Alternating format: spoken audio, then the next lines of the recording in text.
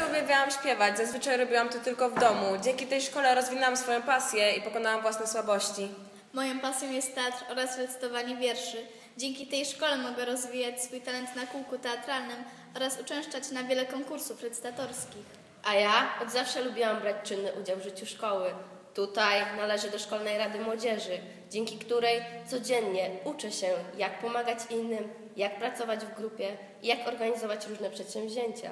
Nabywanie takich doświadczeń z pewnością przyda mi się w przyszłości.